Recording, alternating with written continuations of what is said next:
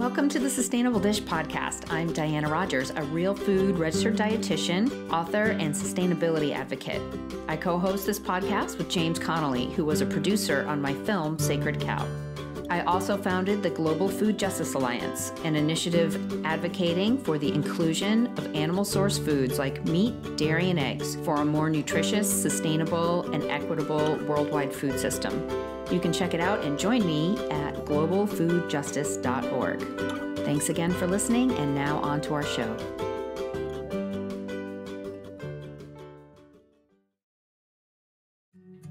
Everyone, I'm really excited to let you know about the free Community Blood Sugar Challenge that I'm running for the month of February for my followers. You'll learn how to use a continuous glucose monitor, CGM, to find out how food impacts your individual body so that you can make the best choices when it comes to your diet. It was a complete game changer for me, and I recommend CGMs to all of my nutrition clients. I'm partnering with Levels to offer two free months when you sign up as a member to get the CGM without a prescription. Just need to visit sustainabledish.com backslash blood sugar, all one word, and enter your email to get the free ebook, access to the live Zoom calls, and the special offer from Levels. And if you're listening to this after our challenge has ended, you can still get access to my Blood Sugar Challenge ebook and the recorded Zoom calls, plus the special offer from Levels. Learning about how food impacts your blood sugar is valuable information that I think we all should know. Visit sustainabledish.com backslash blood sugar to sign up. Uh, cool. So this is um, James Connolly uh, for a Sustainable Dishes podcast. Um, uh, Matt's actually kind of been following me for a little bit. We've sort of touched base a couple times. Um, you know, we we sort of live in two different worlds. I'm I'm in New York City, uh, and Matt is uh, outside of uh, Bozeman, Montana. Um, but I kind of wanted to bring him on. His name is Matt Skoglund. Uh, him and his wife Sarah um, are first generation uh, uh, bison ranchers, um, and we'll kind of go into some of the origin story because I actually find it enormously fascinating. Um, I, I do think that there is a generation of kids who don't want to spend their lives going from cubicle to cubicle as as one of my best friends says it, you know they put you into a crib and then they put you into a schoolroom and then they put you into a cubicle and they put you into a casket. And so you spend, spend your life in a box. Um, and so that so i'm having this conversation in my head with matt because i've listened to you interviewed a bunch of times on a number of different podcasts. And I, I i get the sense that you've always had that in the back of your mind like i can't live a life going from box to box. Um, and so I'm wondering if you can kind of like introduce yourself, what uh, the name of your ranch, and then kind of talk about your origin story because I do find it endlessly fascinating. Sure. Um, well, well, first, you know, thank you so much for having me on. I'm a big fan of what you do, and um, th- thrilled to be here. Um, so yeah, so my name is Matt Skoglund, and um, my wife Sarah and I, we have two kids, Otto and Greta, and they're five and nine and we started North Bridger Bison, our bison ranch. Um, we started it from scratch in 2018, and it's located. We're up here in the Shields Valley, which is about 30 miles northeast of Bozeman, Montana. Um, uh, really beautiful area. Uh, really, um, you know, still very much a um, a ranching agricultural valley. Um, got the Bridger Mountains on one side and the Crazy Mountains on the other. Um, but yeah, it was a a long, winding, very nonlinear uh, path in, in getting here. Um, so so I was born and raised in suburban Chicago, uh, zero background in farming or agriculture, ranching whatsoever. Um, and you know, without getting too deep into the weeds, you know, I I uh, I, I I I fell in love with fly fishing in high school, and that was kind of my entrance um, into conservation and you know becoming a passionate environmentalist. Um, went to college in the Northeast um, and and was introduced to hunting in college by this amazing guy Kim Montgomery in Vermont, and um, uh, that just totally, you know, that was a huge, huge, had a huge impact on me and how I looked at the world and food. Um, and absolutely loved living in Vermont and and you know a more rural lifestyle. Um, and so, and then this huge passion for conservation and environmental work, um, or or this interest in environmental work. And mm-hmm. so, I ended up I went to law school and graduated from law school in 2005 clerked for a federal magistrate judge in Chicago, joined a large law firm in Chicago, spent a couple of years there. I knew it wasn't for me long term, but it was a good place to start.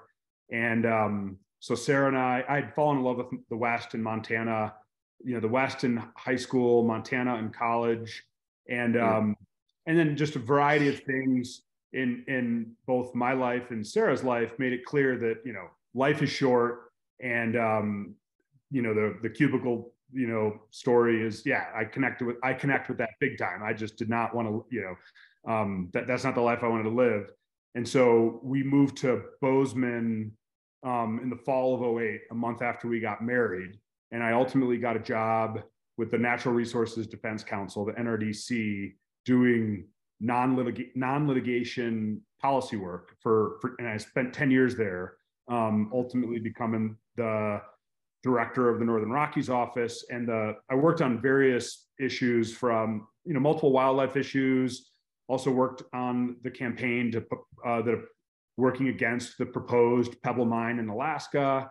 Um, and but the big issue I worked on was was bison, and um, and and and over that time we had two kids, and as much as I liked NRDC and respect the work that they do, I was really craving to do something tangible, land based, conservation based on my own. And um, I, I, guess the example I, I give with environmental policy work is you you know I'd have like a coffee meeting with a state agency official and a federal agency official and say you know you guys really need to do X. And they'd say Matt we couldn't agree more with you but politically that's a non-starter.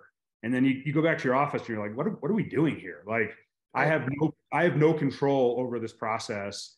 So much of it is it's political in nature. Um, and so you it's just it's you know it's important work, but it, it becomes a slog and becomes frustrating. And so um, uh, I you know the idea of doing something on a much smaller scale, but something that's tangible that you can see, touch, feel. Um, that just like really appealed to me.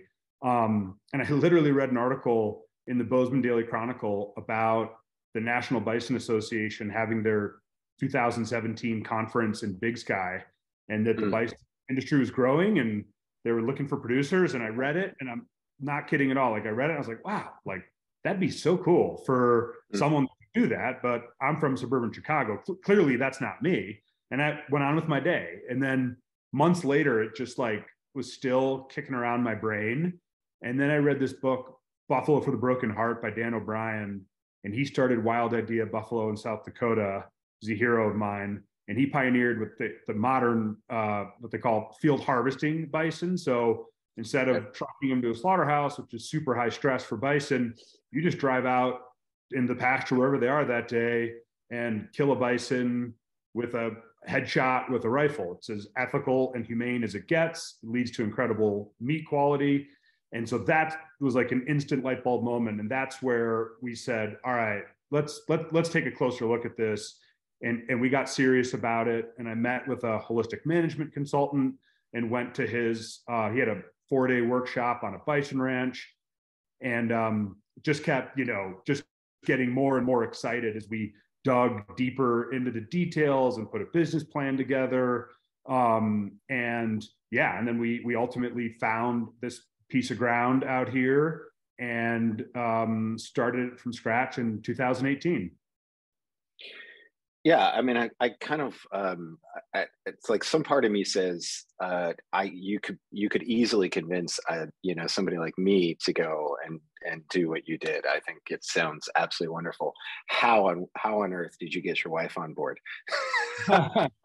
You know you, she you know sarah's amazing and yeah. um, she um she yeah she was totally on board. You know it, it was interesting. When we when we got really serious about it um you know we'd lived in montana for almost 10 years and and in and we lived right in the heart of bozeman. And we had two kids and this amazing you know community of friends. And so um and and and and sarah you know i think we're we're both like i guess you dreamers. Like we we we we like to dream and think big and we you know talk about that stuff and support one another. Um and she loved it. I mean she she she she was excited about it. However she was very clear. She said look i'm all in but it's got to be within an hour of bozeman. Like i right. am not, not we're not moving seven hours away and starting over. Like our communities here. Um and so so that was her that was her only you know those are the only sideboards that she put on it um and we both i mean um i guess i mean it kind of goes without saying i hope that like w- when we got serious about it we just we, we went back and forth playing devil's advocate with one another like i always right. tell people like you know the um like like the appeal of this is so obvious right it's just you know right. google ranching in Montana and you see mountains and animals and grass and uh, beautiful sunsets and sunrises like that's the easy part. But we were really like okay what's what what what do the hard days look like? And and what are the trade-offs? And what are we giving up? And we knew it'd be a massive massive lifestyle change. And so we really tried to like just put ourselves in every scenario imaginable not to talk ourselves out of it but just to make sure that you know kind of that that that like um that gut check like are you know mm-hmm. are we are we really going to do this? Are we prepared for this? Um because this is a huge change.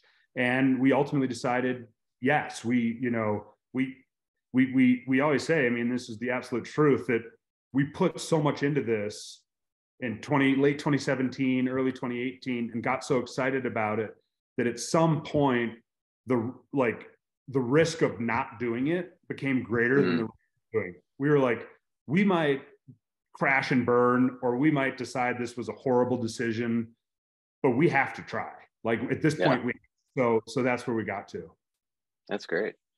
Yeah, I mean, I I, I do think. um I mean, I kind of want to dive in a little bit into how you got into uh, holistic management, uh, why bison, um, and you know uh, just some of the aspects of um, because you kind of set yourself up into a niche that may work well on paper, um, you know, just in terms of on-site slaughter and any number of different issues that are not part of the sort of na- narrative uh, for for cattle ranching or just ranching in general. Any anything dealing with ruminant animals in in the United States nowadays. So I wonder if you can dive a little bit into some of the uh, thought processes and and the things that you weren't willing to compromise on.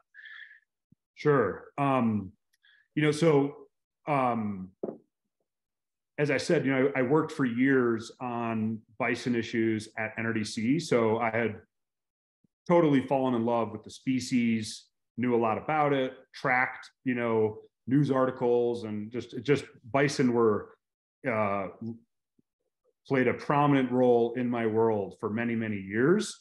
And and and and that article in the chronicle about bison ranching is what put it on my radar. So um so bison just it just made sense to me. Um but i should say like i you know it's funny because um I think some people think, you know, because you raise bison, you must not like cattle. When like nothing could be further from the truth. I I love cattle, and um, I think it's just totally you know, it's the saying, it's not the cow, it's the how. It's it totally depends on, um, you know, what, you know, there are definitely trade-offs between the two species. And, uh, um, and it just like anything, it comes down to uh, what you're interested in personally. And so for me with bison, um, like I said, I love the animal. And then, you know, the fact that they um, are, are, you know, very hardy, you know, they've been on this landscape for thousands of years. So, like when it's 40 below, they don't care. Um, they breed on their own, they calve on their own, defend themselves against carnivores very well.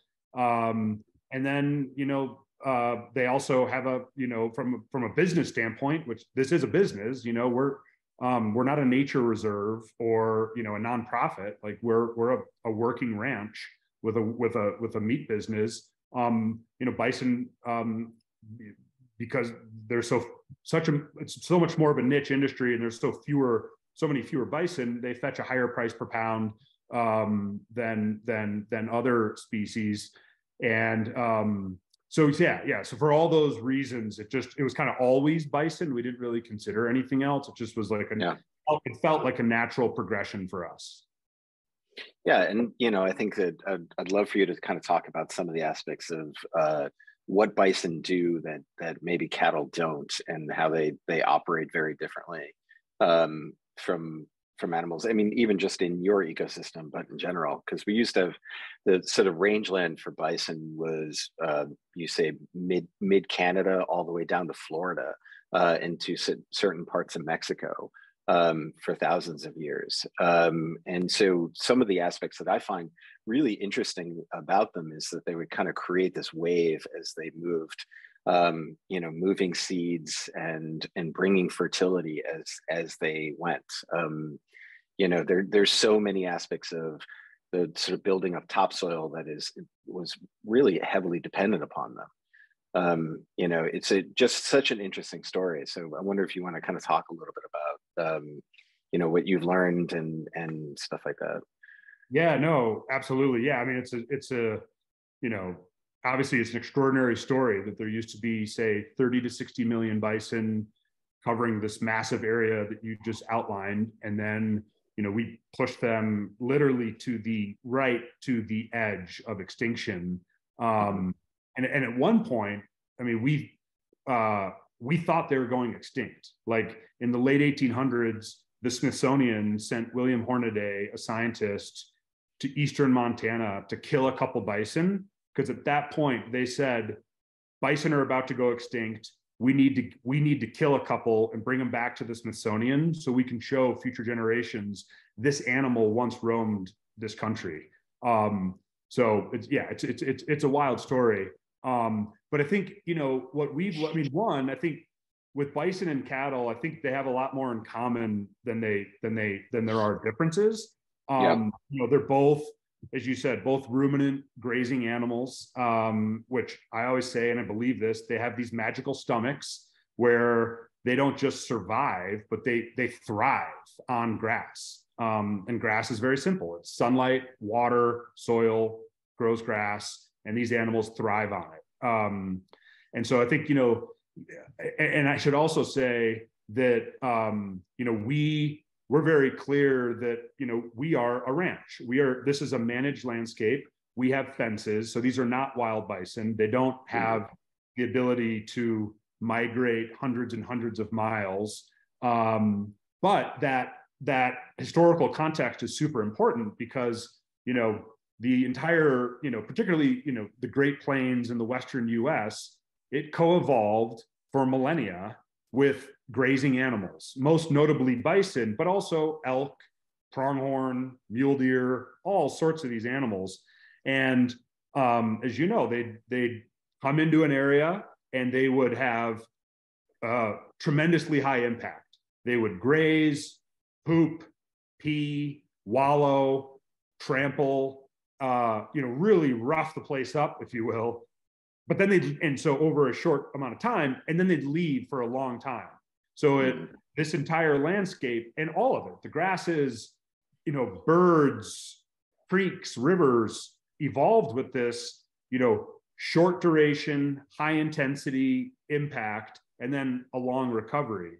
And so now in the world of ranching um, out here, uh, you know, with holistic management and regenerative ranching, folks are essentially trying to mimic that behavior you know biomimicry. They're trying to mimic the way this landscape was historically grazed and you can do it with bison and you can do it with cattle a lot of the most progressive stuff's being done with cattle. Um, so so here we're doing it with bison and you know i think some of the things we i've noticed is that um, one the the herd instinct in bison is just unbelievably strong they they want to stay together so um, a friend of mine said they're they're almost like their own little, you know, they talk about mob grazing. They're their own little, right.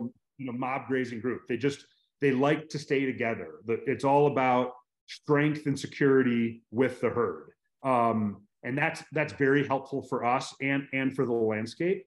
Um, they also uh, they they they seem to prefer. Um, and I've heard this from a lot of different folks that raise bison. They they like higher ground, and the assumption is that it's just in their DNA to want to be able to look out over the landscape and see wolves and whatever else might be out there. So um, they seem to really like to bed down in higher areas, so you know, away from creeks.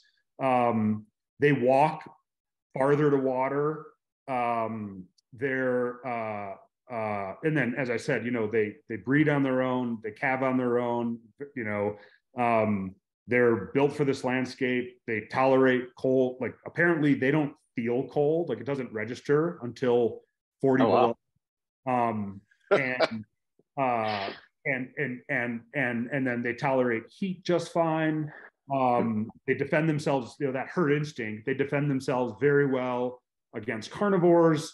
Um, so and, oh, and then and then from a biodiversity standpoint, they you know they wallow. So they which is they aggressively roll on the ground and create these little micro depressions, you know, on the landscape that uh, both that help other species of both plants and animals. Um, and then they shed their coat every spring. So all this luxurious bison hair, um, you know, uh, just falls all over the landscape. And all these other critters, and particularly birds, use that hair. Um, I was just reading this morning in the article you sent me, you know, that, you know, it said essentially wherever bison are, um, ground nesting birds are using their hair to line their nests, and you have much higher, uh, you know, uh, nest success, chick recruitment, chick survival. Um, so there's yeah there's just you know a lot of great things that that come with bison yeah I, I, sent that to you just because it was a it's a sunday times uh, New York Times, who, who, for the most part have not had anything to good good to say about meat for a very long time. Uh, but the science section, the, the name of the article is "Establishing a New Home for Bison to Roam." So it, it, it I always love the sort of weird synchronicities that kind of happen when you're just like you're sitting there, you're like, all right, well, meat's bad for you, but we're going to put these animals back on the landscape. But what are we? Just, we're never going to touch them. you know, we can't eat them uh, you know, we could talk about all of the bi- the biodiversity advantages of having animals back on the land, um, but we have to make sure that we just don't eat, eat meat anymore. You know, and, and, it's so weird to me, like uh, how you know, I, it's an interesting conversation to have with somebody who grew up in in an urban environment. Um, you know, as yourself and myself, to I, my first job was in a butcher shop, so I didn't you know i worked for four years in a butcher shop and then in my like late 30s i, I was able to do that again uh, and work for a number of irish butchers in london. Um, so i had a different experience than the normal normal suburban dweller. Um, but you kind of talk about uh, over and over again the the disparity that kind of happens between these sort of monoculture landscapes of cities right? Um, and then you have the the reality of of that farming environment and ranching environment that is feeding those cities.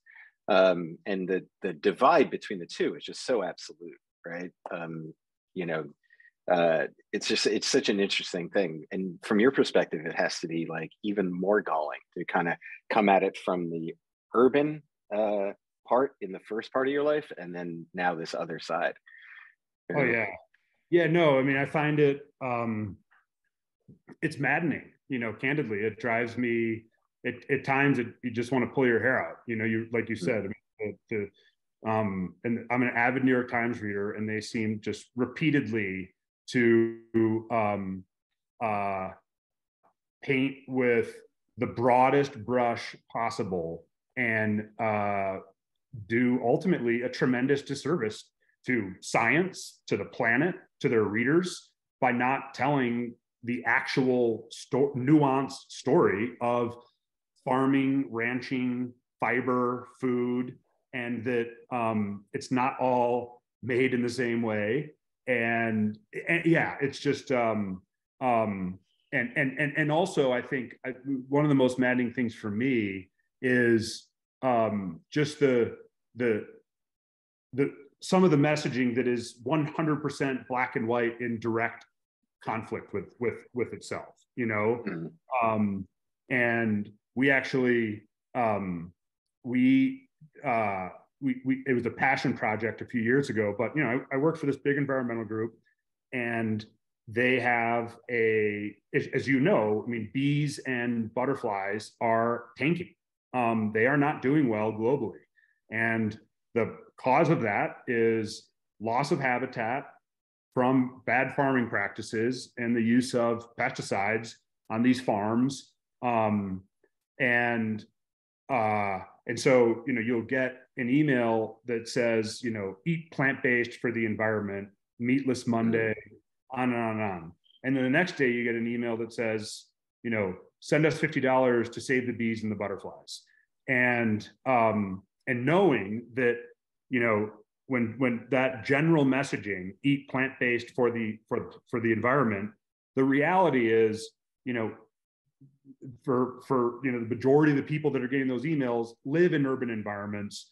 And what happens? They go into a whole foods they buy an uh, beyond beef burger or an impossible burger and and and and they i don't like i feel bad for those people because they're they're trying to do the right thing yeah. Um, you know their their their intentions are absolutely dead on but and but they've been told that anything plant-based it's good. It's just you know it's it's it's uh, nothing was injured in, in or harmed.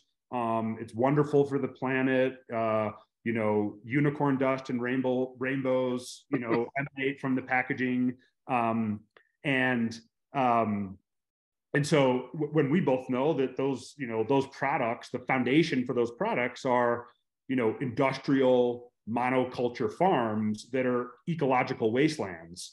Um, and you know uh, your colleague diana who's amazing you know um, was, you know, says there's no such thing as a bloodless diet, and that when the, you know, when the combine goes out to harvest those crops, like whatever bunnies and rabbits and chipmunks are in the field, like they're not dodging them. So we're, we're all killing stuff. It's just a, a, question of who's doing it and how they're doing it. Um, and so, so that's this, you know, so, so this plant-based messaging around, you know, that, that, that, that ultimately is, is, is detrimental to the bees and, and the butterflies they're trying to save. And then we're out here on the, on our ranch and looking at our ranch and our neighbors' ranches, and it, there are bees and butterflies everywhere in the summer. I mean, all sorts of different colors and species and all this different stuff. And it would drive me nuts, you know. And so we made T-shirts with our uh, bison logo, and and we switched it so inside the logo it's uh, bumblebees and monarch butterflies, and it just says "Save bees and butterflies, eat grass-fed meat." Um, and uh, so, anyways, that's just one example of the you know totally conflicting information that again well-intentioned people are you know um, uh, uh, unfortunately getting this information and it yeah it just seems to only be increasing. Yeah and i think for us uh, like i just interviewed a guy who um, he uh, he's a guardian reporter. Uh, he wrote a book on the insect crisis. Um, and two of the two of the main points that kind of came out of that was uh, things that i hadn't known before was um, that uh, we we have we have this sort of characteristic um, pollinator species, the ones that we like on posters and all that stuff. He said that um, that flies are actually a huge pollinator. Um, that you know they're they're larger body masses. They're actually more tolerant to different uh, conditions. So too hot or too cold, they're actually more tolerant to it um, but we we don't consider them charismatic enough to kind of put onto like t-shirts or anything like that.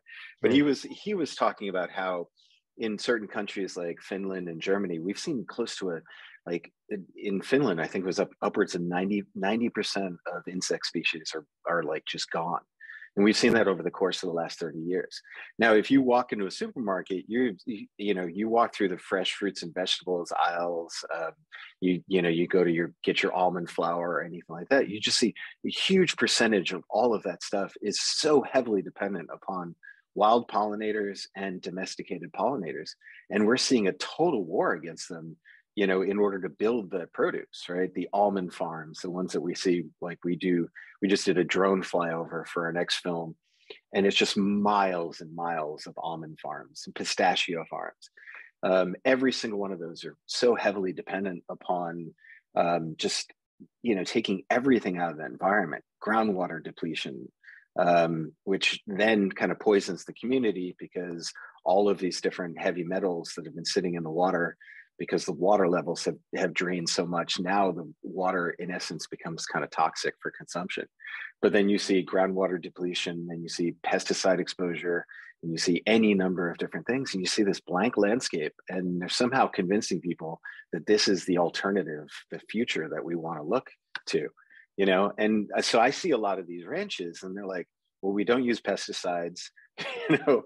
We don't use any of these these chemicals on our environment and we're producing highly nutritive food which has taken us like in you know many of the people who have kind of advocated for meat consumption for a very long time are, are still trying to convince people that meat is a health food right? That dairy products are a health food. Um, you know so it's it's such an uphill climb. Um, and to diana's credit like she was able to kind of distill huge amounts of information and you know down to a 90 minute you know argument against this worldview. And she's continuing to do the hard work. Um, but she's equal, equally frustrated by a lot of the policymakers who will sit down with her and say that this is this is something that's really important uh, but we have to continue business as usual you know? So i can i can definitely see the frustration especially with people who are advocating for regenerative agriculture uh, for putting back animals back on the land you know to producing food that actually is in harmony with the environment that tries to biomimic evolution and you know um, all of the all of those different things. Um, yeah. Yeah no it's I, I so well said. And you know you know for us it's like i was just having this conversation with someone yesterday that um you know as i said we're you know we have no background in agriculture whatsoever. And so we're you know it's not like we um you know, our family's been doing this for generations in a conventional way. And then one day we were like, hey, what's this regenerative thing? Or maybe we could, maybe we should change for this reason or that reason. Like we came to ranching because of the environmental benefits that come with it. And, and, you know, regenerative agriculture, obviously a very hot uh, term and issue right now, which is great. Um, and and but i would i mean it, it's so clear to me that within the world of regenerative agriculture um, that uh, raising animals regeneratively for meat is the the easiest and most efficient way to achieve regenerative goals. Like i think you know if you're if you're like exactly you know if you're trying to have regenerative almonds like that just to me seems very very difficult and even yeah. regenerative spinach would seem, you know, you're raising spinach, you're at war with anything that wants to eat your spinach. And then, whereas like on a ranch, the, the, the science is, is, is clear that the, the more biodiverse our ranch is, so the more species of grasses, wildflowers, forbs, bees, butterflies, birds, etc., the the more resilient the land is, the healthier our animals are, and then the healthier their meat is, and then the healthier the people that eat their meat are. And this great scientist, Fred Provenza, does an amazing job um, writing and talking about it. Um, and so for us, you know, we ultimately, when we talk about our, when people ask us about our management practices, we manage for biodiversity, full stop. Right. And we do it, we do it for two reasons. We do it one, for biodiversity because bio, you know, just we love biodiversity. We want this place to be teeming with biodiversity. And then two, we do it because that's in the best economic interest for our ranch. Right. Our ranch would be most productive the more biodiverse it is. And then kind of going back to what we were saying earlier, whether it's a black Angus cattle or a bison, there happen to be these magical animals that have these magical stomachs that can walk around and graze the grass and thrive on it, get very big, and provide hundreds of pounds of unbelievably healthy meat Um, and and we're obviously we're not plowing, we're sucking carbon out of the atmosphere, we're storing carbon in the soil. I mean, all these different things that come along with it. And so I just if I'm when I look at the regenerative agriculture movement or space, like regenerative ranching is again, I'll just say the easiest, most effective way to achieve regenerative goals. And um, I wish I, I, you know, you know, I, I think that message will slowly, but it's it's getting out there slowly but surely. I mean, we see it with our customers, people who weren't aware of it and now are. Um, yeah. And but like, yeah, it's a. I, that's why I'm so grateful for the work that you and Diana do because it's just it's it, it's going to take a while. Yeah, I mean, I do think like I, I recently went to a book uh, book uh, publishing opening. Um, it was for Chloe Sorvino, who is a um, food and agriculture writer for Forbes. Uh, and it's primarily about um, the book is actually really profound. I, I did a podcast with her um, uh, about a month and a half ago, but it goes into the sort of total corporate takeover of uh, food production, uh, primarily meat production. Um, so you were talking about it specifically in terms of COVID, but we knew we were creating a problem a long time ago with with Tyson and Perdue and JBS, um, in essence, kind of taking over the whole sort of production side of of meat um, from slaughter to to sale. Um, and so she she wrote a book about it. So I, I ended up going to the opening. Uh, there were so many people there, Matt. Huh. There were so many people, and I, they were they were like young. They were hip kids, you know, like yeah. they they they were not the demographic of what I thought would be sitting at a bookstore for for a book opening on meat. Um, and they're all asking the same question. They're saying like, how do we support the food that we eat in a way that gets uh, that makes us feel like we're we're contributing with our dollar to something that actually feels right. Um, and they they knew a lot more than I ever would have expected. Um, the only point that they had, if I can kind of digress for a moment, the only point that they had was the sort of less meat, better meat argument, which I just find highly problematic because what we're seeing in New York City specifically is we have a mayor who is quote unquote vegan, he eats fish, but and eggs and whatever else. So he's he's you know when it, when he's you know writing his cookbooks or uh, telling other people what to do, he's telling everybody to move towards plant based. Um, but he's also taking away from kids in public schools. And so Meatless Mondays was the beginning. Vegan Fridays is his new uh, sort of push for that. Um, and so what you see is a sort of hardline uh, move to kind of take away foods from kids who are getting anywhere from 60% of their meals from the Department of Education. And that stuff can be total junk, right? Oh, yeah. Impossible Impossible Foods uh, lobbied really hard for GRAS status, which is generally recognized as safe foods, so that they could actually start to get into DOE food. Um, and so what we see is an overall sort of switch over to to getting uh, kids.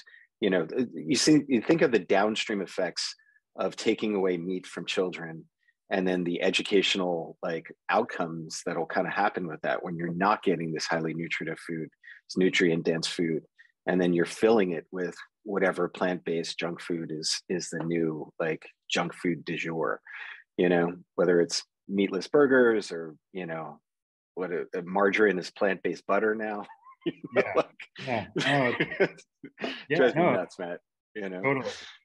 yeah um so like let's kind of uh, go back a little bit. So you you um, you started uh, you found this plot of land. Um, had you had access to uh, to getting an initial herd? Like, what was your herd size? Um, and like, where are you now in terms of that? And then like, where you know, like, give me some kind of like you know origin story of like the first day when you closed your fences and you had like you know you know animals on the land yeah, yeah. So, um, so you know, I, I I'll start slightly earlier because because, um, and I think you know we talked about this before before we um started recording about like you know younger you know like people in the 20s and 30s that are interested in say leaving the city and trying their hand at farming or ranching or something and as first generation ranchers like we're we're very passionate about both you know sh- sharing our story and, and helping others.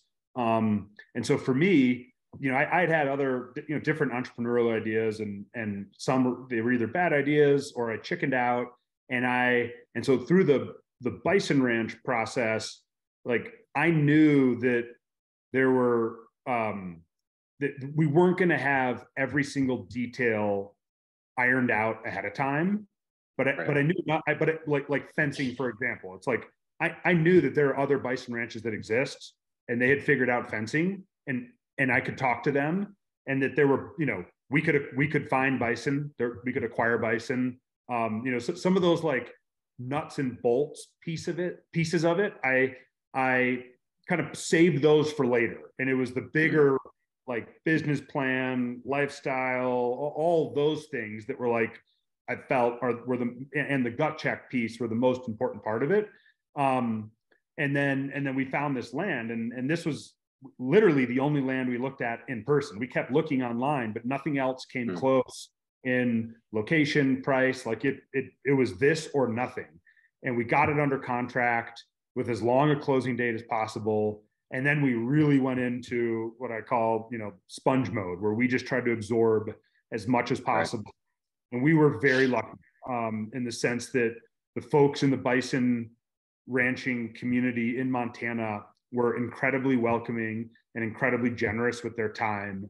And um, we got to tour some, a couple ranches and and i got to develop a couple mentors along the way. And and each time it just kept demystifying it. And it was like okay i, I think um you know we can we can do this. We can do this. It just kept like um you know it was interesting. We i always i st- i always had this insecurity of like if you didn't grow up ranching you can't be a rancher and even when it was under contract i was like man i just feel like every a lot of this is falling into the like these pieces are falling into the right places but I, mm. I would say Sarah, I'm like, I just, I'm, I'm, there must be something someone's not telling us. Like I'm, I was mm. waiting for someone to be like, did they tell you about, you know, X, Y, Z? I'm like, ah, that was it. That's why we right. can't do this. And, uh, but they never did. And we just kept, you know, we said, we'll, we'll just keep putting one foot in front of the other until someone tells us to stop. Um, anyways, but yeah, we got the, we, we ultimately got the land under contract, got through closing, worked with this great guy uh, uh, on fencing where he had to pull out um, miles. Was it, yeah, was it a ranch before?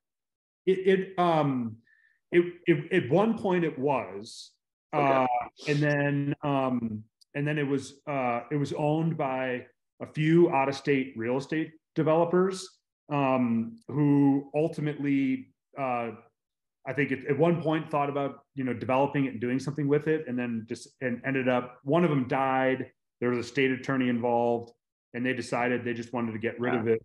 Um, and neighbors were grazing it seasonally with their cattle. Um, uh, but that that so so that that was the the that that's how things were here. And um, but for bison, you know, we had to Forrest is the person we worked with, and he had to you know tear out miles of barbed wire fencing, put in new fencing, and, and we use um, high tensile, uh, uh, wildlife friendly fencing. The middle wire is hot or electrified, um, and it's it's great. We we really like it.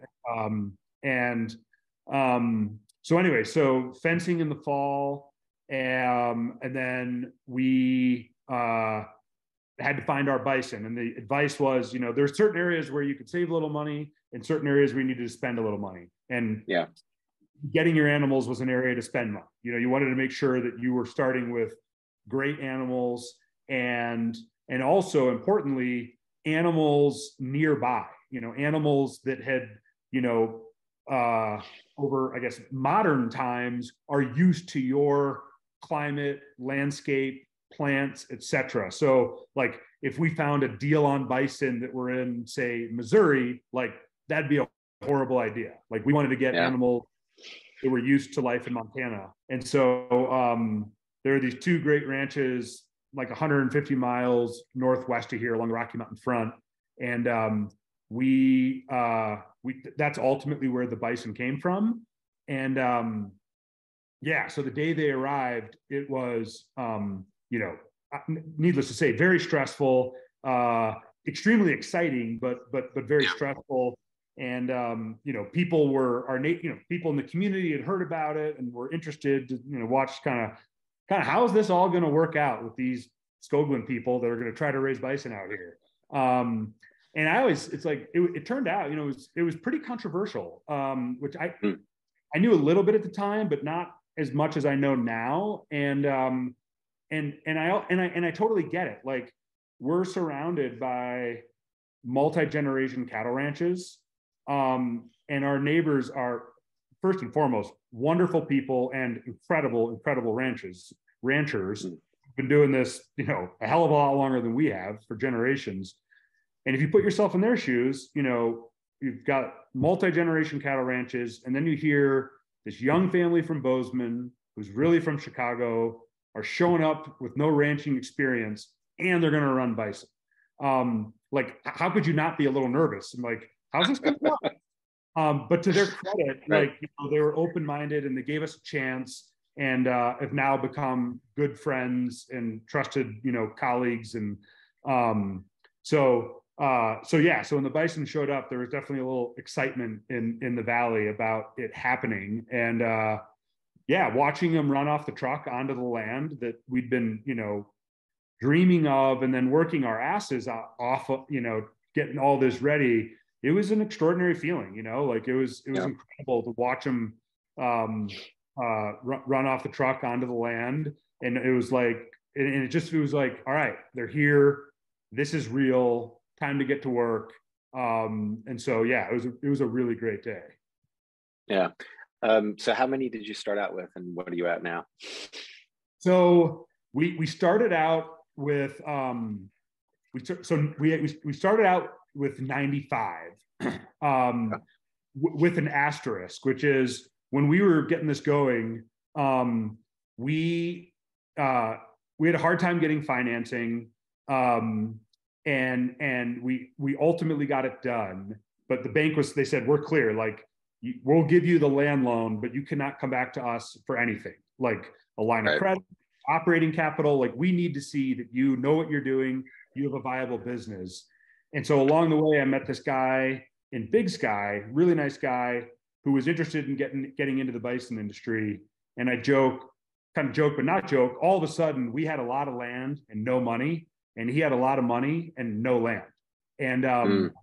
so we talked about doing a custom grazing lease, and it was a way for us to grow the herd a little faster and so um, we ended up putting a three-year custom grazing lease together, where of that of those nine of those 95 animals that came from those two ranches, 30 were his, 65 were ours.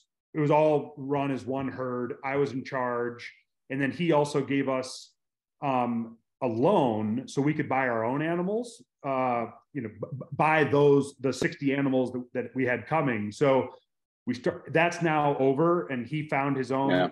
ranch somewhere else in montana i just saw him he's doing great um, so anyways so started with 95 they weren't all our our all our animals um, and but now we're up to somewhere around 170 175 animals of all ages oh wow yeah so it's pr- pretty good size herd that's amazing and and you you were saying on another podcast that you um, uh, you'll age them for two years, or do you go? Do you try to go by some some degree of like a, a visual interpretation of weight? Like yeah. I, I, was trying to get a sense of that. Um, Good question. So we do we do a we do a couple things. So um, yeah. uh, so for for the animals born here on the ranch, any bull born on the ranch is a meat animal, and we wait until, um, with, with rare exceptions, we wait until there are at least two. Uh, so we, we, long story short, bulls born on the ranch, we kill between two and three. Um, okay. And between the ages of two and three, and you know, just it t- bison develop a little more slowly, and obviously, yeah.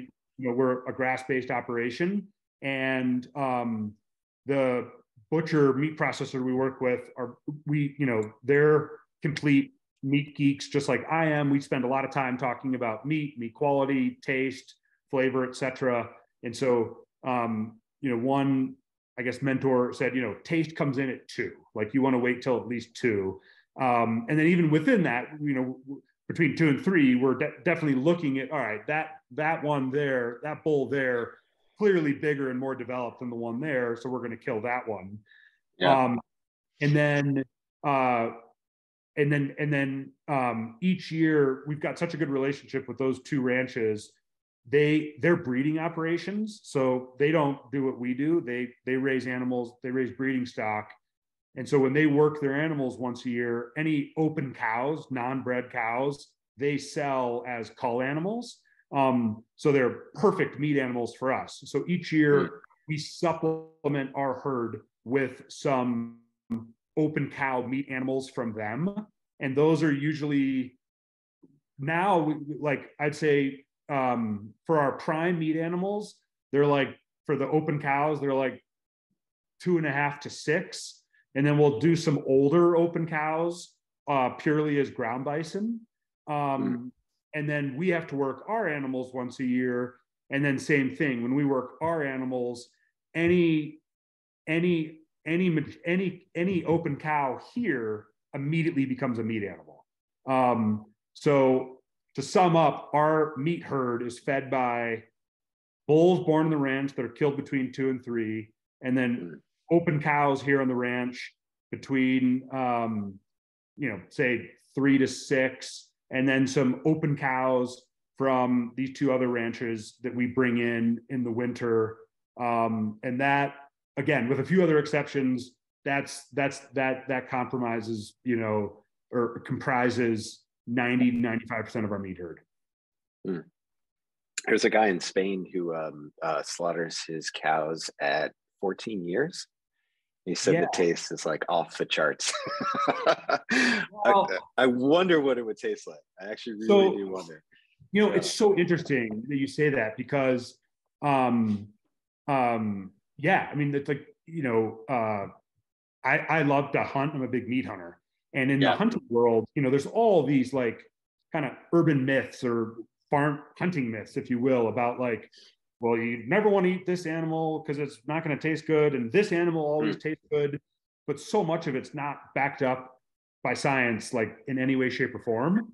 And I and I feel like it's the same in the livestock world because I've heard that about like in yeah. Europe and it's and I know it's now happening in the U.S. where like some high-end restaurants are experimenting with much older animals because the flavor is just off the charts. It's so yeah. it's so more pronounced. And we've done a couple experiments. We um we we had a uh, like this school group. They're like of college kids that through this program where they bought a bison and they were going to process it themselves and we sold it to them and i and it was an, it was like 10 or 11 and i gave i said here our price is x amount of dollars but i'd also like to keep a chunk of backstrap and a chunk of tenderloin because i'm just curious like what is this let's just say it was 11 what is this yeah. 11 year you know and we cooked up those steaks and same thing they were like just unbelievably delicious um so i think you know from uh, yeah, I think the livestock livestock slash food industry. There's a lot more that could be done with older animals. Um, uh, so yeah, no, I, have heard the same thing. Yeah, uh, when you when you hunt, uh, how how long do you hang your animals uh, before you process them? I'd say um, w- one to two weeks. Um, okay.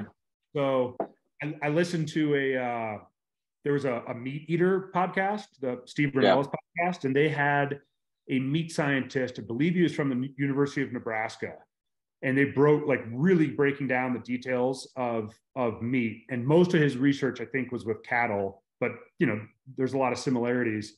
And his, uh, as I recall, his thing was that you want to age any any you know um, grazing animal uh, like like whether it's a deer, an elk, a bison, a black Angus cattle, um, at least a week. That over the course yeah. of that week, the um, you know the the enzymes in the meat and the it's it's it's tenderizing the meat and um, you know you, you kill an animal 24 hours it goes into rigor mortis where it's stiff as a board and then it slowly, slowly, slowly is is being tenderized and loosened. And he was saying that I think like the majority of the magic happens over the first week, and then you know over time it just kind of falls off from there. So it, we kind of average, yeah, w- w- for animals, I you know hunting animals, one to two weeks is about what I do. Hmm. Yeah, it's it's definitely really interesting. I had was there was a restaurant I think in uh, it's a Scandinavian restaurant called Fäviken Fäviken. Yeah, yeah, Fäviken. Yeah, yeah, he was talking. Didn't he have like some sort of sixth age month, uh, uh, six month aged uh, meat on his plate at one point? He's, he's sort of a nut. He lost. Yeah, no, I, I, I, no, I, I, I have his book. I've seen him on TV. I yeah. like he's yeah. I love his whole. He's crazy in a great in the best way. Yep. Um, and yeah, he was like I think same thing. I think he was. I think they were killing some like old dairy cows and doing. Oh yeah. Wild yeah. stuff. Yeah. Yeah, the uh, the the butcher shop that we went to when we were in Belgium, uh, he's sort of a superstar. We were when we were in the airport. There's like huge, thirty foot poster of him uh, just in the airport alone uh, Dierendonck. Um, but he he has this really wonderful. Uh, uh, it's one of the best butcher shops I've ever walked into. Uh, just the sheer variety. He uses all of the animal in in myriad different ways.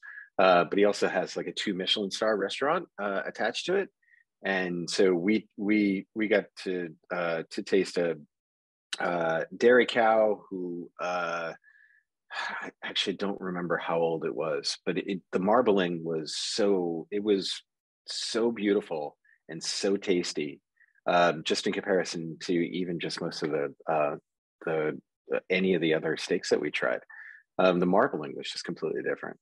Um, just like throughout all of the muscle tissue, it had all of this really wonderful, like uh, yellowish, like whitish marble. Huh. Absolutely delicious, you know. yeah, no, and I've, I've, I've experienced it. You know, the first bison I killed, long story short, was a, a friend as an got an employee harvest tag at this at, and um, it was a, a, much younger animal and uh, um, and and we processed it ourselves and and and um, and then and then we killed our first bison here on the ranch which is kind of a funny story because you know we we did you know all this work we started the ranch and all you know all the stuff we've already talked about and then but and but we we did not feel comfortable selling our meat until we'd gone through the entire process ourselves um yeah. you know we want to be able to stand behind our product and know exactly you know so we want so we the first animal we called it the r&d animal we i field harvested a bison and you know we got eventually got it back and um, I was like, hey, let's just cook, you know, let's take a ribeye and cook it like you would any old ribeye. And, you know, we're all excited and we throw it on the grill and, you know, I'm having a beer and then I put it on the cutting board. All of a sudden I had this like panic attack of like, oh my God. I'm like, what if it doesn't taste good? Like, know, it's like we did all this stuff, all this due diligence. Yeah.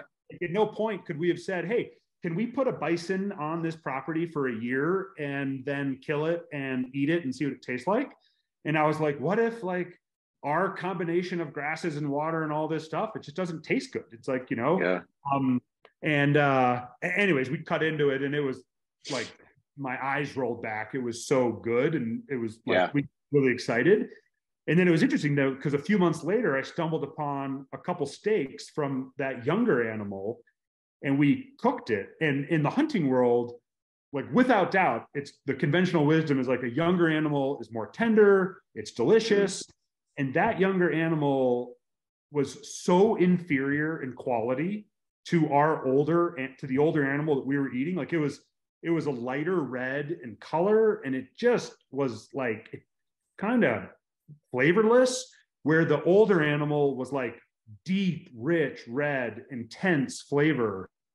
Um, so I just think, yeah, I just think there's a, lot of misinformation out there around this kind of like younger animals are taste better, older animals don't taste good. Like clearly that's not the oh, case. Totally.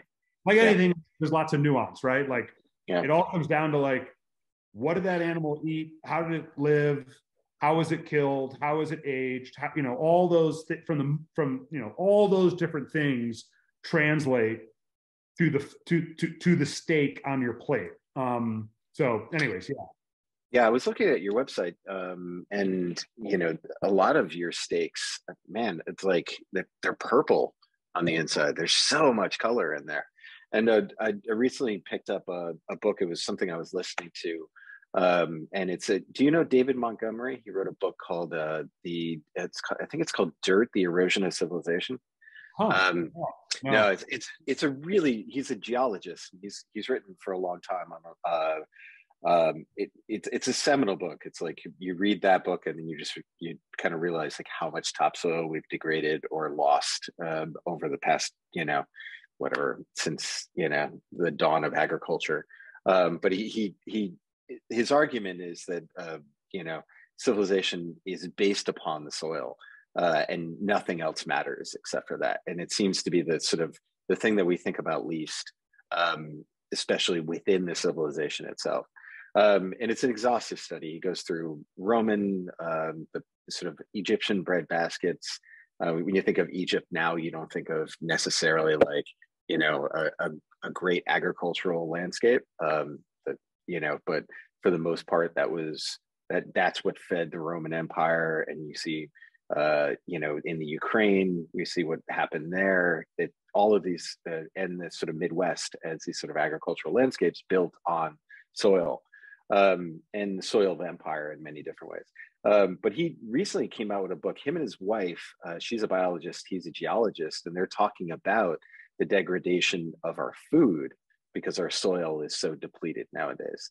Um, yeah. And they were just talking about iron content and you know any number of different um, you know vital uh, nutrients, not just macronutrients that are are depleted because we're essentially feeding our animals on uh, and and our plants and vegetables on nothing anymore. Uh, the absolute minimum to make them look like they're supposed to be. Um, so that was what I was thinking about when I was looking at the cutting into your steak. Was like, oh my god, like how much iron is in this thing? you know, yeah. how much nutrition is part of this? It's like I wouldn't have to eat for a week. oh, totally, yeah. No, I, I, yeah, no, I I've read similar things that like don't have the like hard data, but that like a, like your average carrot in the grocery store today compared to say 100 years ago, like you'd have to eat, yeah. you know, 14 carrots today to to to get the same nutritional benefits from like one carrot. You um, you know, I mean, it's depleted soil, chemical farming. It's not, you know, doesn't lead to uh, healthy, nutritional, uh, nor nor delicious products. Yeah, and it, it's so weird because I think you know for the first time, you and I are probably about the same age, but the, you know we have seen uh, the growth of such a um, uh, a spotlight on food over the past like 20 years. Like I think even before the year 2000, you wouldn't have heard about farming and agriculture in the way that you hear about it now. Like people are looking into this stuff. Even if you go into the absolute extremes of like LA, where people are, you know, heavily focused on detox foods or juicing or any number of different things, people are highly focused on that. Um, on, on clean eating, I guess is what they're calling it. Um, but what we're what we're seeing, it, I I think, is what we're seeing is these foods that mimic uh, the outside textures of uh, of what food would have tasted like 100 years ago but they have none of the deep nutrition of that. Um, you know and we are learning more about the sort of the dark matter of nutrition right? The the stuff that we don't know that we don't know. Uh, we know that we measured certain things because we could measure them uh, and now we're starting to find out that most of that stuff actually works synergistically um, and so you can't just take all of these in, you know, constituent ingredients, put them into a supplement, and then feed your body with those supplements. Um, and so we're seeing this symbiotic relationship between the food that we're eating that has nothing left in it and the soil that has nothing left in it, uh, and this sort of total extraction atmosphere. Um, and I think that's what regenerative agriculture is trying to sort of battle against, saying we have to start to think of this holistically like when you go to the doctor's office you shouldn't really be talking to the doctor you should be talking to the farmer type of situation right you know oh i i i, I oh my god I, I i couldn't agree more um like strongly. And I, um, I'm sure you have no shortage of potential podcast guests, but this guy, hmm. Fred, Fred Provenza, who's a retired professor from Utah State, now lives in Montana. He wrote this book, Nourishment, and he, which I haven't finished, but he, uh, he he's been to the ranch and just an incredible guy. And you guys, you'd have a total mind meld on on that exact subject. And he's and and, and he, you know, uh, yeah, yeah. I just I, I couldn't agree more. Yeah, yeah, I yeah. I mean, I I do think that there's um, in order to sort of uh, put pressure on the level to which people are kind of talking about this need to move over to plant based. Um, we we need as many people from disparate fields to kind of talk about this stuff um, because the, the, what Diana calls um, carbon tunnel vision, like you know the methane from cattle, methane from cattle, methane from cattle, like that is all that we hear, and it's just it's such a just does such a disservice to what these animals do. Um, eco like e- total ecosystem engineers, and we've reduced them down to one basic component that we're just hammer home to people. Um, and it's just a, it's so like disconcerting and it fucking pisses me off. yeah, no, I, I, I, I, love that because I trust me. I, as I said multiple times, I mean, you know, our family, you know, we we just love nature. We, you know, yeah. like yes, was it yesterday? Yesterday or the other day, I saw an ermine run by, which are these these hmm. cool little, uh, you know, it's a it's a like a long tailed weasel, and in the winter they're all white with a little black tail, and it just like yeah. I, I ended up I I spent let's just say I spent way too much time staring out the window that day, um, uh, trying to see it again. And then that yeah. night, I'm like Sarah and the kids came home. I was like, "You're not going to believe what I saw today." I was like, "I saw an ermine." They're like, "What?" Um, so we just love biodiversity. Whenever we see a new bird species or you know any kind of big critter on the ranch, we get so excited.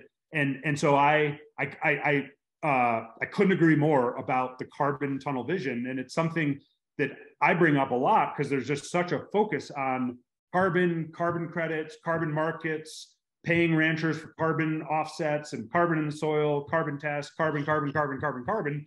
And exactly, it's like, well, what about, you know, as I look out at our ranch and our neighbors' ranches, and these places are teeming with life, bursting with biodiversity. And there's just, yeah, there's not enough emphasis on the all of the biodiversity benefits that come with regenerative ranching.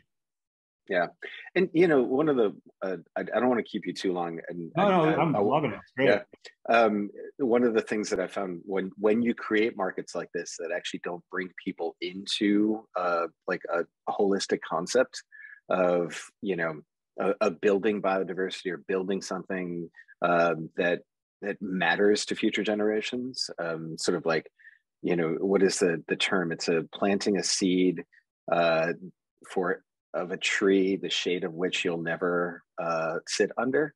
So you're building something that like future generations will do will have the shade of.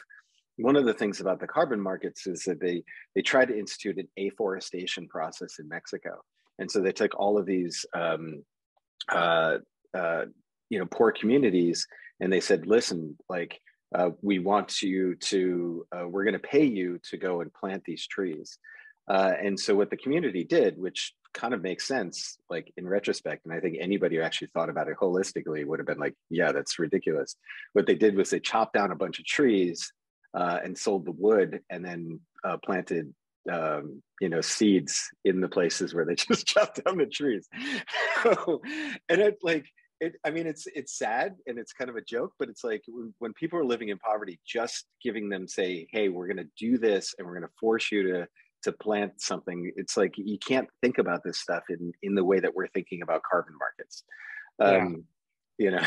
oh no, no, I, I it, totally, and it's like if you if you really play it out, you know, these carbon markets, like a lot of it. I mean, so, so are you know some of these bigger companies you know they want to buy carbon offsets so they can say yeah. in a legitimate way that that our our supply chain is carbon neutral and you know i they all have their own reasons whether it's you know because they want to because they care about climate change or it's marketing or some combination thereof um, but that you know there's there's definitely there, there's that part of it and there's just so much emphasis on carbon that I I always think of. Um, and he was just in the paper. The longtime lead wolf biologist in Yellowstone National Park is this guy Doug mm.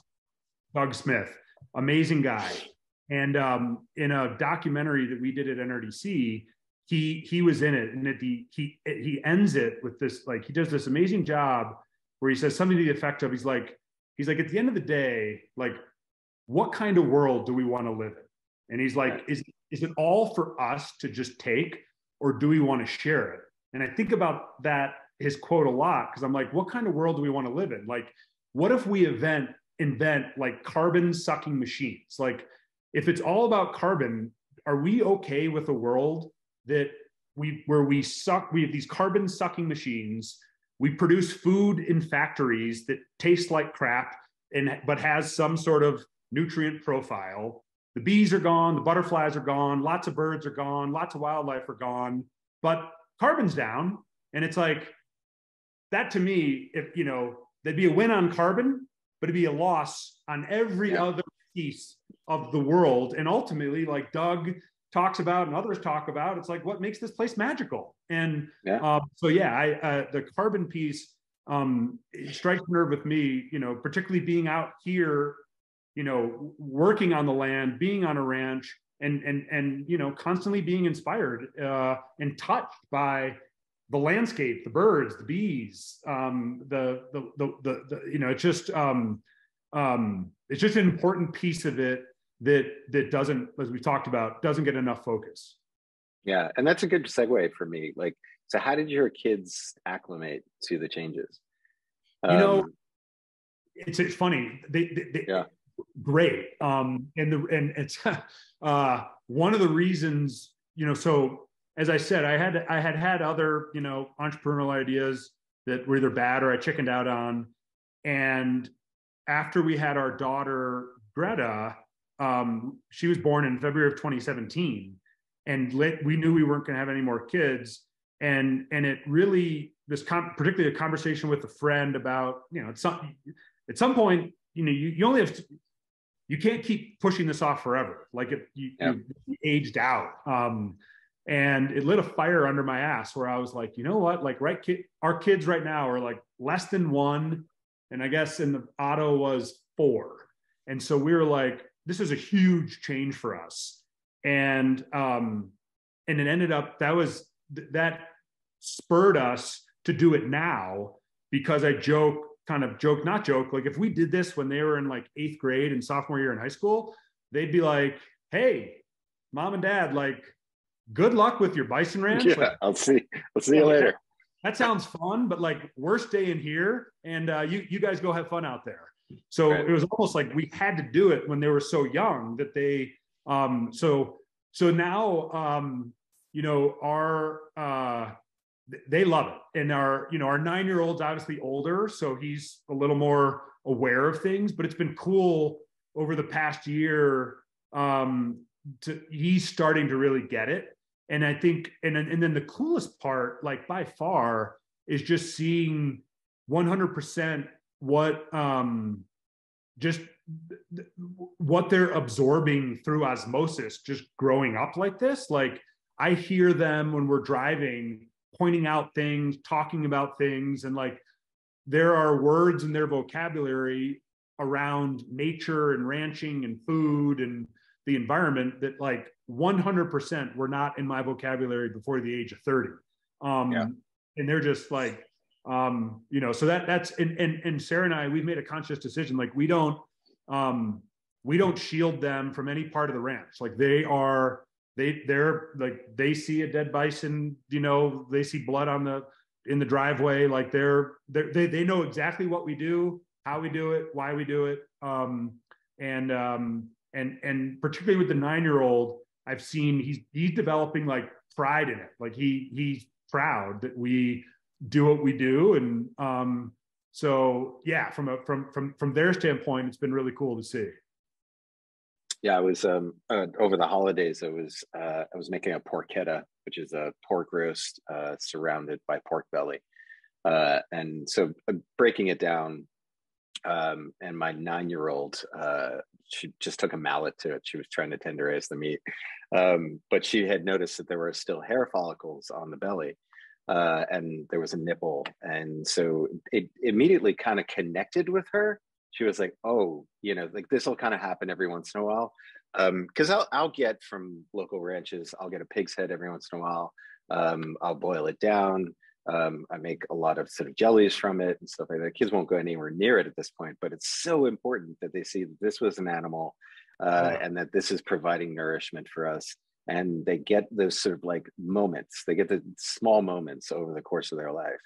Um, because I do think that there is there is something weird about city life. Um, you're, you're in Chicago, I was in New York. There is some sort of like strange phenomenon where people genuinely think that they're they're not dependent upon the death that kind of occurs outside of the landscape of that the zoo that they kind of live in um, and they can live forever or you know you can kind of convince them of any number of different things. Like new york is is primarily finance and advertising and so it's a lot of people kind of you know sort of making up shit. Right? And so when you think about it it's like to get her to see elements of that to see you know to death around her and all of that stuff it's just such an important ingredient to their development. Um, because it, it you know it it's required you know it's required for us to eat. Um, and i think the narrative going into the sort of 21st century the way that we thought about what food would look like would be this sort of you know plant plant based meaning like factories right? Like when people say plant-based to me that doesn't mean nature anymore. It means aluminum and you know like antibiotic you know like uh, washes and you know sterile environments and lab coats and all of this stuff and it it it, it brings me absolutely no joy um you know i mean it's oh, just like such a yeah I couldn't agree more. Right? When you, yeah, to, to me, I, I, same. When I hear plant based, same thing. I think factory. Like, and I, I think about it all the time. It's obviously, I'm, you know, we're both passionate about it. But like, I'll see, like last winter, I saw um, on our ranch, we uh, there was a herd of uh, over a hundred pronghorn antelope, and um, wow. all bedded down in the snow. It was just so beautiful. And I remember, and whenever I see something like that, I'll often just involuntarily think to myself, like, I wonder what the pronghorn habitat inside the Impossible Burger factories like. Um, you know it's just like but it's like yeah. it's a joke but it's also like not you know it's like yeah. um you care about pronghorn antelope like they need a lot like we they, they need big landscapes if that you know to survive and and do what they need to do to to survive you know and have a big enough population and blah blah blah. And in montana like that's a combination of public land and private ranches that provide that. Yeah, and that's you know part of the reason why we've been so heavily focused on this the 30 by 30 movement. Uh, 30% of the earth kind of being uh, like made into these nature preserves um, because it, it, it really considers business as usual, right? So everything else can continue. We can just continue to, you know, pollute waterways or do any number of different things to build some sort of like vision of civilization. And then we're just going to eh, have these um, like geodesic domes of wildlife that'll continue to survive. Um, I don't know if you're familiar with George Monbiot. Uh, he's a, a British um, sort of thought leader, guardian writer. Um, thinks animal. I've definitely seen his name around. Yeah, and it, it the biggest problem that I have with that is that like you can't hold this stuff off, right, from the from the rest of the environment, right? Like you can't build some sort of ecosystem uh, that that won't have outside inputs. And so, if the air is polluted, or if there's acidification going on, or any number of different things, we have to we have to build an environment we want our children to live in, which which requires, you know, us to redevelop in some ways civilization so that we actually we value that. And I love what you said about, you know, we we became bison ranchers because we were environmentalists because you will see on those placards every single time you see an environmental protest you you can't be a meat eater and be an environmentalist and like well I, no it, no it, it, it drives right? me nuts because like like and same thing with hunting like you know the like you know so the most passionate environmentalists i know yes are hunters you know like yeah. like they are so connected to the land and animals and you know if there was some bad development project somewhere in elk habitat, like hunters are going to be the first ones there opposing it and yeah.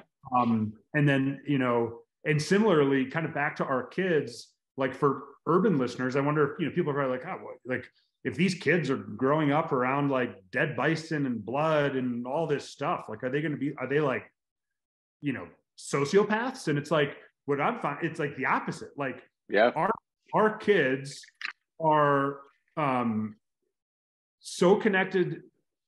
I, I guess what i'm seeing is that like they care so much about the natural world and they care so much about animals they're very aware. Like we eat you know bison elk deer multiple times a week. Like they and then they know we're eating they they all that stuff. Yeah. um but they like with all the development in bozeman our son like continue like he constantly will say like oh my god there they go again destroying more nature. You know like they're they're just keyed in on a different level by being closer to the natural world. And and yeah it's just um yeah it's it's it's it's just an interesting there's just a yeah a lot of confusion um around these things. Um yeah. Yeah i you know and and the thing about it is and, and one of the things that worries me most is that the average age for most farmers in the states is is over oh, yeah. 50 you know like we, we have to build an ecosystem environment so that kids can grow up in a place where they could take over those those jobs that you know there's so many farmers who can't pass on the land to their children because it's not a they can't afford the income from two separate households um, we have to do something better you know totally. no doing. we have yep no we've got to find a way to um yeah to to to change the system to put more money in farmers and ranchers' pockets to make farming and ranching um, uh, more viable long term for the exact. You know, we yeah, I think about it all the time that you know what's going to happen is all these. Yeah, it's a huge question. Yeah. Well, I mean, maybe we do a reverse a Chicago slaughterhouse where all of the Chicagoans move out and start up their own bison ranches. I don't know about that. yeah. You know, but it like you know, gotta we somehow get this sort of urban like rural divide to sort of uh, have a, a real conversation.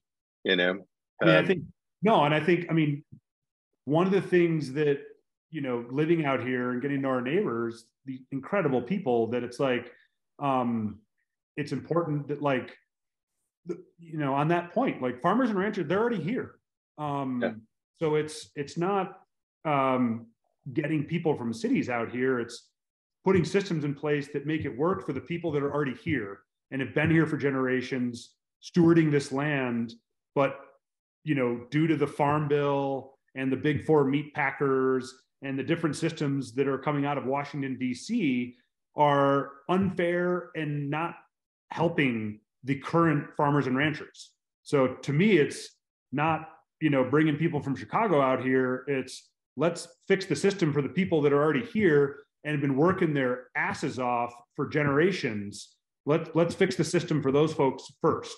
Um, you know, like that that that yeah that that yeah yeah, I mean John John Maynard Keynes, who was a uh, economist at the beginning of the 20, 21st, 20th century, um, he, he has an old quote. It said something you know, societies can afford to pay for what they want to pay for.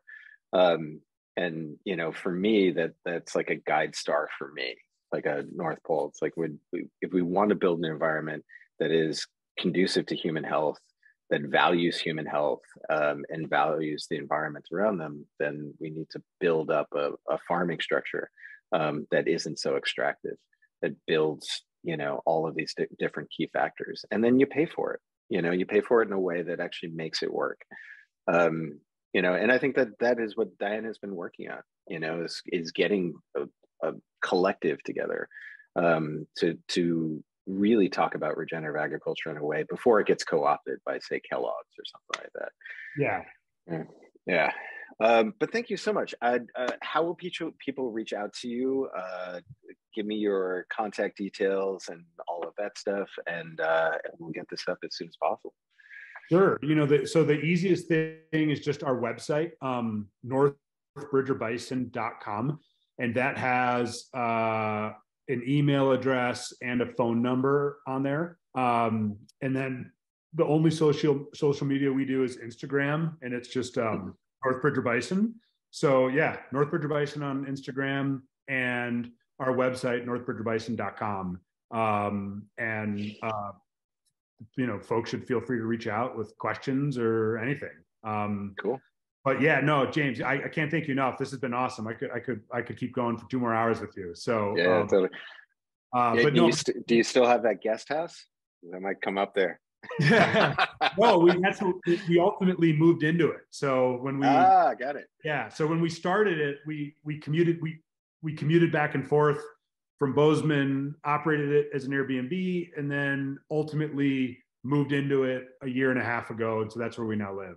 Um, and we, sold our house in Bozeman and put a little put a put an addition on it. Um, um, but yeah, no, if you're ever out in the Bozeman area, obviously, you know, let me know. Cool, awesome and yeah. keep up the awesome work. I, I, I so appreciate, um, you know, I, I uh, what you and Diana do, and um, I learn a lot from it. So thank you. Cool, cool. All right, let me just stop the recording. Um... Thanks so much for listening to the Sustainable Dish podcast. If you like the show, please leave a review on iTunes. And if you'd like to support the work I'm doing on Patreon, please visit sustainabledish.com backslash join. As a Patreon subscriber, you'll get access to ad free podcasts, plus exclusive video podcasts, never before seen interviews, and a discussion community. Go to sustainabledish.com backslash join, and thank you for your support.